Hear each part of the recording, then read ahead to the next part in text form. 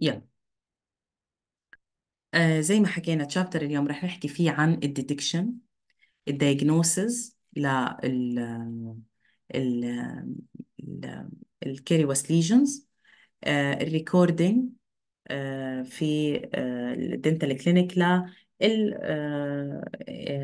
ال carious lesions بأي surface موجودة. كله هذا رح نتعلمه إن شاء الله بهذا ال chapter طيب أول شيء بدنا نعمل نعمل شوية revision زي ما حكينا عن ال biofilms حكينا لما يصير في shift بال biofilm آه ال shift اللي بال biofilm هو إنه آه بصير في metabolic activity toward إنه يكون معظم البكتيريا عبارة عن cariogenic bacteria آه بتعمل آه بيطلع ال acid ك byproduct بعد ال fermentation لل sugars يعني هي نوع البكتيريا اللي بتكون سائدة في ال biofilm ال cariogenic بتكون بكتيريا بتعتمد بشكل كبير على ال fermentation للكربوهيدرات The symptom of this is what can be detected with the naked eye and classified as a Caries lesion.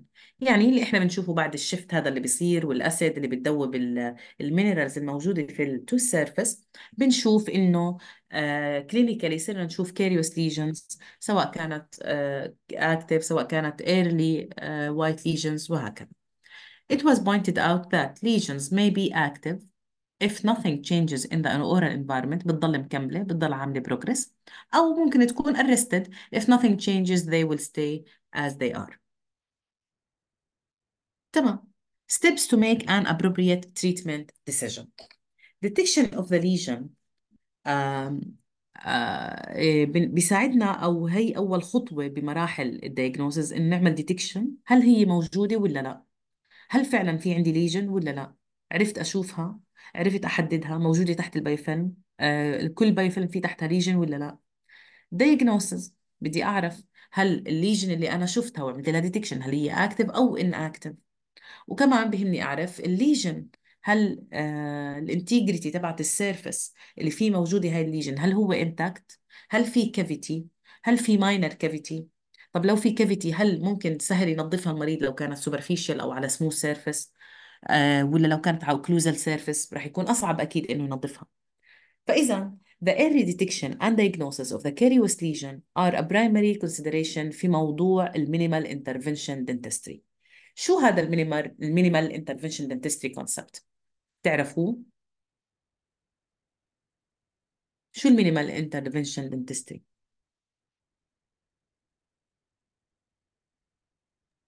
ممكن نحاول قد ما نقدر إنه ما نعمل fillings إذا كان في طريقة غير هيك.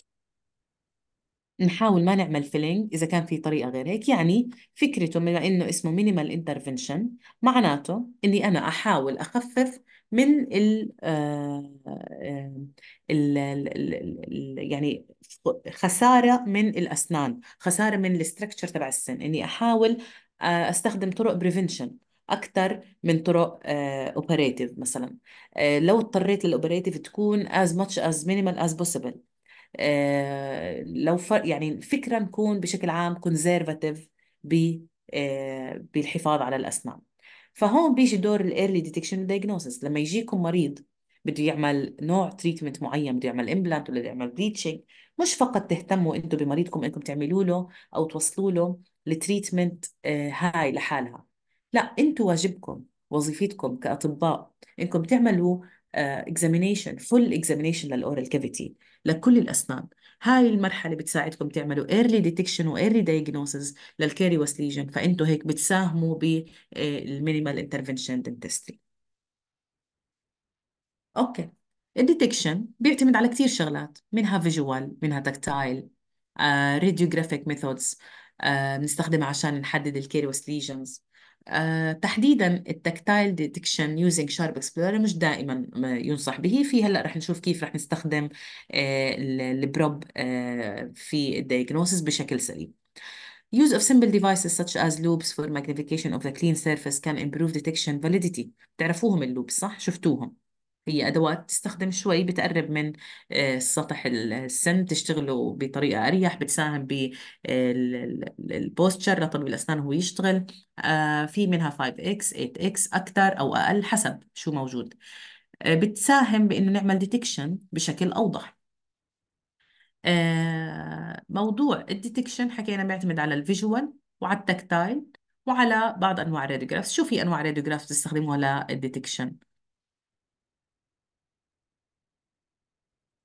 شو في أنواع تستخدموها لل detection radiographs periapical bitewing bitewing أهم شيء bitewing عشان تحدد لي أي نوع ال bitewing proximal caries ال proximal caries مزبوط اللي بين الأسنان بيكون بتحدد بسهولة بال bitewing طيب شو رأيكم بال آه شو اسمه؟ ال occlusal caries. سهل أحدده على ال x-rays ال periapical مثلا؟ لا. لا. مش دائما صح؟ يعني لو كان deep شوي ممكن يبين معي. بس آه يعني قاطع واصل في ال dentin وممكن مقرب على ال pulp ببين معي. أما لو كان آه بال enamel بس بتتوقعوا يبين معي ولا لا؟ قلتوا لا. شو اللي بخليه ما يبين؟ من اللي أخذتوه بال radiology. مش بيكون في superimposition من بقية ال enamel اللي موجود؟ مش دائما سهل يبين. يعني مرات ببين بس الغالب إنه راح يصير له superimposition خاصة إذا كان لسه في ال enamel راح تغطي عليه ال other enamel اللي موجود في بقية ال occlusal surface فما ببين بشكل واضح. طيب diagnosis detects and excludes disease. Assess prognosis. And forms the basis for the treatment decision. يعني ال diagnosis بيساعدني أشخص الم- المرض أو ال disease هذا اللي أنا بعمل فيه. بيساعدني إني أشوف ال prognosis هل رح تتحسن حالة المريض؟ بناء على ال oral conditions الموجودة عنده. هل لو استخدمت preventive treatment مثلا أو لو حاولت أشجع ال remineralization هل ال oral condition وال oral hygiene لهذا المريض بتساعدني أو لا؟ وبتساعدني هذا الحكي كمان إني أعمل آه، أساس لل treatment decision اللي بدي آخده. بناء على ال oral condition والله بشوف هذا المريض فعلا شخص بيهتم بال oral hygiene ممكن يكون cooperative هو من شخصيته شخص cooperative فاذا ممكن يكون موضوع ال- ال- الشغل على ال remineralization يساعد آه، هذا المريض يساعد فيه يعني يكون سهل عليه إنه آه، يعمل remineralization نتيجة إنه في عنده آه، خلينا نقول آه، good oral hygiene. شغلة تانية you must خلال diagnosis discuss with the patient whether any action is required to control lesion progression. من قبل حكينا إنه إحنا ما بنتصرف بدون علم المريض. آه اللي بدنا نعمله نحكيه للمريض بناء على ال diagnosis بنخبره شو ال diagnosis بما بال best of our knowledge شو طلع معنا ال diagnosis آه بن- بنخبره شو ال options اللي متوافره عندنا ك treatment plan وكمان بنخبره بال progression لكل آه، طريقة رح نستخدمها في ال control لهاي ال lesion. هل آه، رح يكون جيد؟ هل في prognosis سيء؟ هذا الحكي لازم يكون عارف المريض. كمان ال diagnosis بيساعدني في ال monitoring لل disease على subsequent visits بخلال جلسات المريض المختلفة. آه، دكتورة بدي أسأل إيش هو ال loupes؟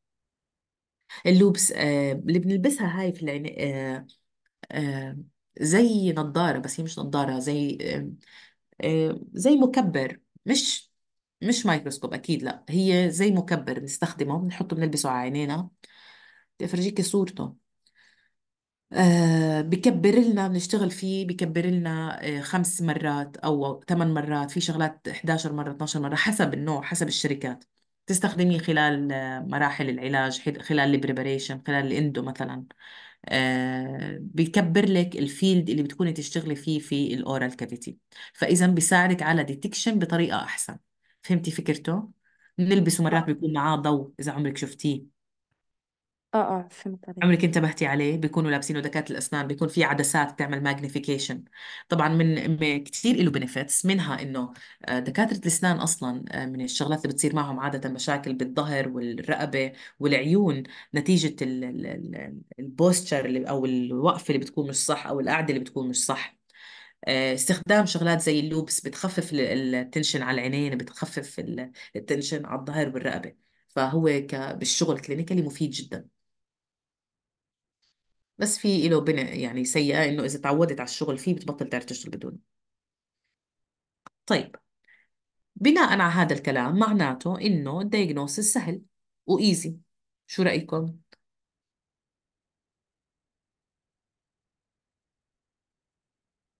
شو رأيكم؟ هل التشخيص سهل كتير لا مش كثير شو العقبات اللي ممكن تواجهني عشان ما أعرف أشخص تشخيص صحيح؟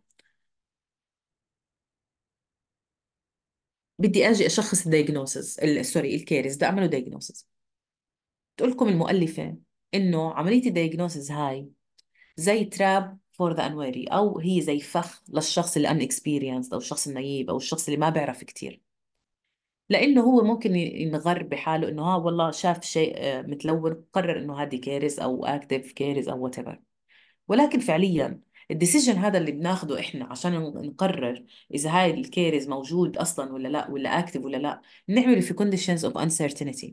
أنت متأكدة إنه تحت هاي ال biofilm في آه في lesion لو شلنا البايفن متأكدين إحنا إنه هاي ال lesion arrested مش active عارفين 100% هاي خسرت مثلا 30 أو 40% من ال minerals. فإحنا فعليا بنحاول نوصل لأحسن decision ولكن إحنا ما بنكون very certain. من هون بتيجي صعوبة الدايجنوزز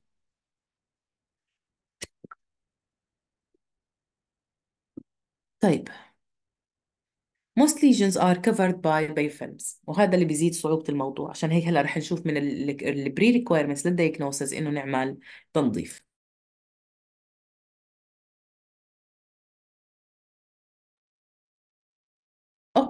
وكمان it is not always possible to separate active from arrested lesions زي ما ذكرنا في ال chapters الأولى إنه عملية التسوس هي continuum. continuum يعني شيء آه، مستمر. أي نعم ال extremes أو الطرف الأول عن الطرف الثاني أو البداية عن النهاية بيكونوا مختلفين تماما عن بعض. ولكن بالنص آه، صعب أفصل كل مرحلة عن الثانية. هون هيك بيجي مبدأ ال continuum.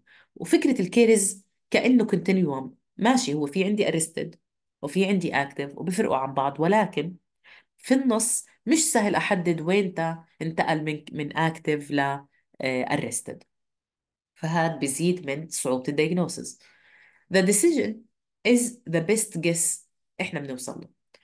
ال diagnosis هذا اللي إحنا طلعنا فيه هو أحسن خيار وصلنا له تقديرا طبعا بناء على ال ال ال المعلومات المتوفرة عندنا clinically اللي شفناه بتم المريض اللي شكا المريض من ال chief complaint اللي حكى فيه آه، الفحص كل هاي بتخلينا نوصل ل best guess إنه هو يكون ال diagnosis تبعنا. أفضل خيار إحنا شايفين إنه هو ممكن يكون ال diagnosis The diagnostic test اللي إحنا بنستخدمهم عادة مش بس في الكيرس في كل التشخيصات. لازم يكونوا valid و reliable. شو يعني valid وشو يعني reliable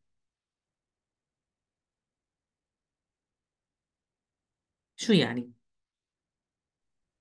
يعني diagnosis يكون صح اللي أنا حاططه وبرضه قد ما أعيد diagnosis يكون الإشي نفس ما هو يعني ما يتغير. أني اللي أني اللي قد ما تعيدي بيكون زي ما هو. أي مصطلح؟ أي مصطلح فيهم تالا؟ Reliable دكتور. Reliable تمام. لما. يكون reliable يعني معناته أنا قد ما عدته لازم يضل يعطيني إيش؟ نفس النتيجة. valid إنه يعطيني فعلا نتيجة صحيحة. نتيجة مزبوطة يعني مثلا خلينا نحكي فرضا آه، فحص كورونا. آه، أعطاني إنه هذا الشخص عنده كورونا فإذا diagnostic test من من نقاط القوة اللي له إنه يكون valid. يعني فعلا يعطيني إنه هذا المريض عنده كورونا وهو فعلا المريض عنده كورونا. مش يعطيني negative والمريض يكون مر... عنده المرض أو عنده كورونا. نفس الفكرة بال reliability ال reliability إني أنا لو عدت الفحص تكرارا يرجع يعطيني نفس النتيجة على نفس ال- الشخص طبعا. لو أنا جيت قررت إنه هذا السن بناء على اللي أنا شايفته بناء على ال visual tactile examination وبناء على radiographs ممكن what شو اللي عملته قررت إنه في caries و active جيت أنا تاني يوم على نفس السن أو بعد أسبوع على نفس السن لنفس المريض وشخصته بنفس التشخيص إنه active caries lesion. أنا هون بيكون عندي intra examiner reliability. يعني أنا بيني وبين حالي أنا consistent مع حالي. القراءة أو أو نتيجة الفحص اللي آه، عملته من قبل كان نفسه هلأ. إذا ال diagnostic tests اللي أنا استخدمتهم كانت reliable. inter examiner reliability شو يعني؟ بناء على اللي حكيته. شو بتفهموا من هال inter examiner reliability وينكم يا صبايا شباب؟ شو بتفهموا من ال inter examiner reliability عكس ما هي ال intra. أو يعني مفهومة شو هي.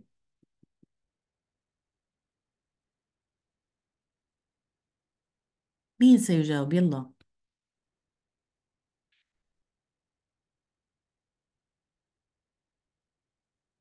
عائشة.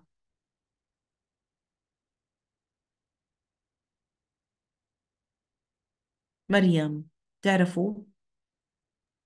يعني دكتورة ممكن إنه مش بيني وبين حالي زي ما حكيتي بال... آه. بال intra. أنا مثلا آه. مثلا دكاترة تانيين أو ناس تانيين. بالضبط. مبينة ما هي inter. هديك intra. ما هاي المصطلحات كلكم أنتم المفروض تعرفوها. inter examiner reliability يعني زي إيش تالا؟ كيف الناس التانيين؟ أعطيني مثال.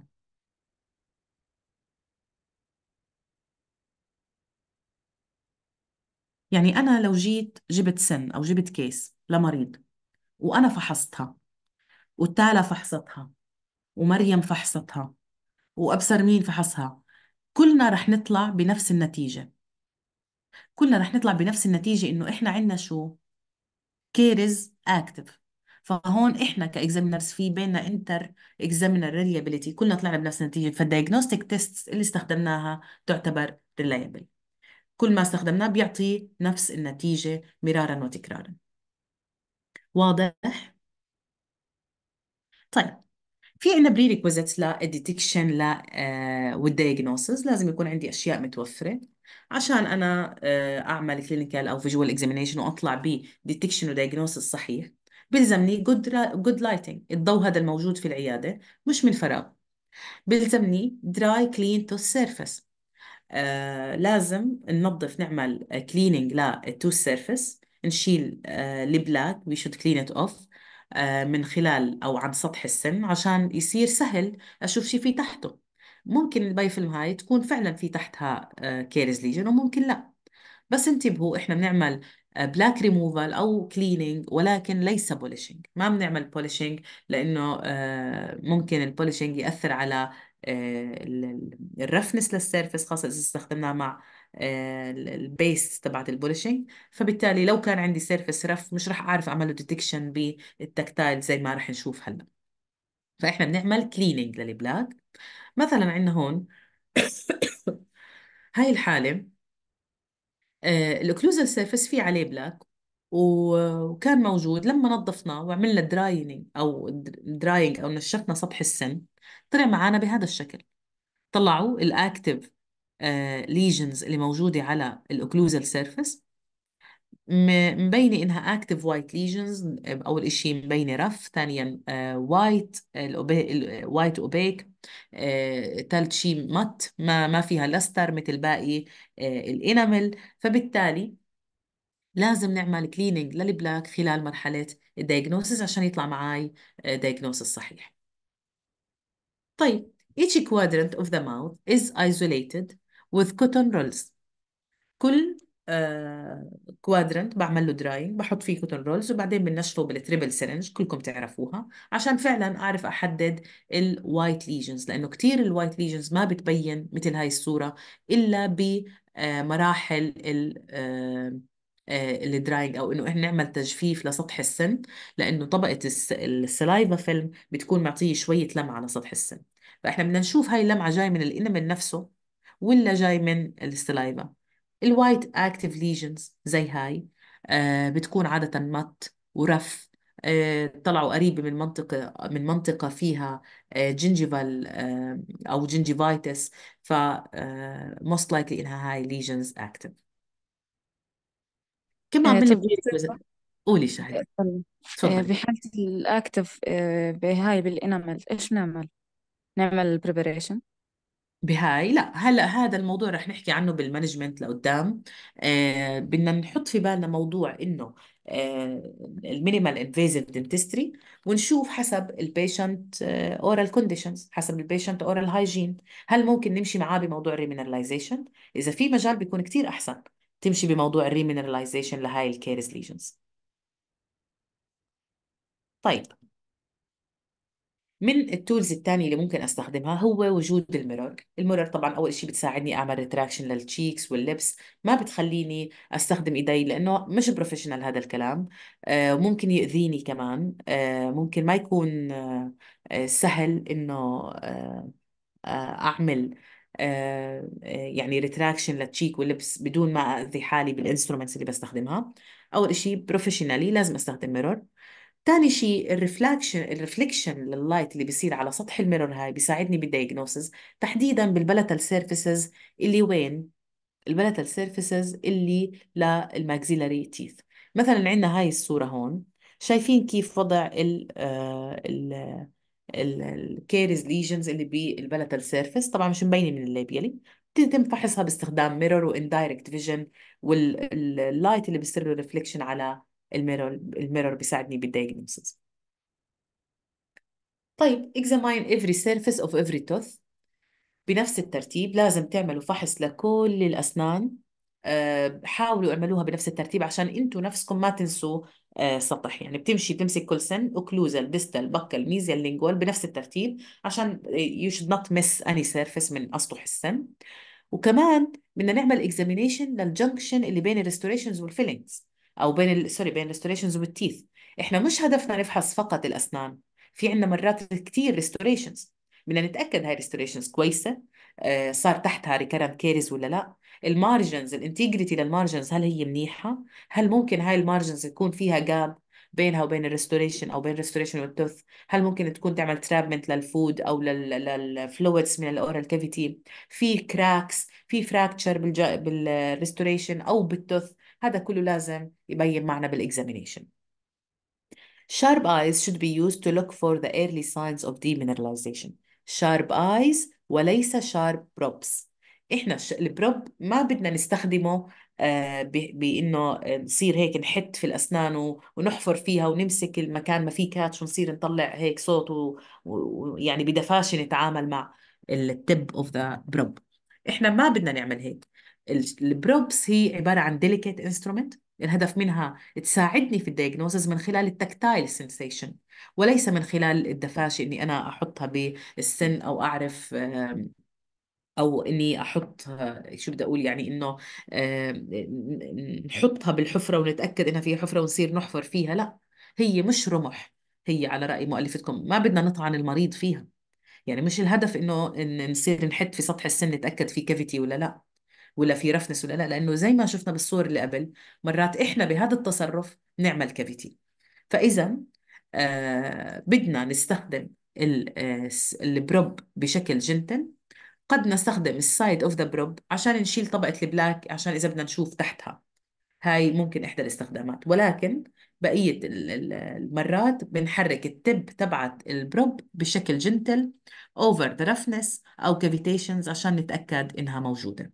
سواء على ال smooth surfaces أو على ال occlusal surfaces آه، طبعا بتكون هي عبارة عن مثلا بتشوفوها irregularities باستخدام ال probe اللي هي في ال occlusal surface ولكن بتحسوا في مشكلة وأنتم بتمشوه يعني ما بيمشي smoothly لما يكون في cavity أو micro cavity بيدقر بيمسك ال probe. إذا the gentle use of the probe explains why these methods are described as visual tactile criteria. إحنا بنعتمد على ال visual tactile method. شو يعني tactile حكينا؟ إيش يعني tactile؟ يعني ملمس ملمس يعني إحنا بنستخدم أصلا يعني بس بس أصابعنا هي اللي بتكون تحس مش إنه إحنا بدنا نتعامل بدفاشة بس الإحساس بيوصل لأصابعنا حسينا إنه بإحساس بسيط إنه في irregularity في roughness بس ببسيط بطريقة بسيطة و gentle طيب how early is it possible to detect demineralization? بناء على ال knowledge اللي أخذناها من ال chapter 1 و chapter 2 واللي بصير في ال biofilm بتأدي من احداث تؤدي لحدوث ال caries برأيكم إحنا سهل نحدد ايمتى بلش ال demineralization آه، ببلش أشوفه لما يصير 30% خسر. هلا هو إحنا فعليا عشان نشوفه على ال X-ray آه بنبلش يشوف يعني بنبلش يخسر من 30 ل 40% من ال minerals. تخيلي؟ عشان أبلش أشوفه على ال X-ray يعني خسر 40% من ال minerals. اذا أنا مش سهل ابلش أو أعرف إمتى ال demineralization بلش أو how early كانت آه، بداية ال demineralization أو أوصل لأول مراحل ال demineralization. clinically هذا الحكي مش applicable مش مش رح أعرف أعمله في العيادة. آه ما رح أعرف من آه أحكي إنه هاي آه هذا السن فيه 10% demineralization أو 20% demineralization بدي ألحقه. ما في clinically ما راح أستفيد من هذا الكلام. قد يكون مفيد بموضوع ال research في بعض الأبحاث مثلا وفي بعض المختبرات. ممكن آه، نعمل أبحاث على أسنان على حيوانات أسنان حيوانات مثلا ونشوف إمتى بلش ال remineralization وال demineralization عشان نقرر آه، فرضا الفلورايد كيف ال preventive effect تبعته. ولكن clinically هذا الحكي ما راح يفيدني بال diagnosis يعني ما في such thing إنه إحنا نقول 40% mineralization عندي بهذا السن. طيب two commonly applied strategies of clinical visual diagnosis will be described. أول طريقة لل diagnosis بدنا نحكي حكينا في شغلات visual visual بتعتمد على ال vision وعلى ال tactile. في شغلات بتعتمد على ال radiographs مثلا قلنا في شغلات بتعتمد على ال fluorescent lights في شغلات بتعتمد على بعض أنواع الصبغات وال... وال... والإضاءة معينة اللي تبين لي وين أماكن في caries أول وحدة رح نحكي عنها في ال visual criteria هم طريقتين. واحدة بتركز على ال lesion activity هل هي active ولا inactive وال integrity لل tooth surface هل في cavities هل في micro cavities أو هل هو السل... السطح السن intact ما في cavities أصلا. هاي أول طريقة.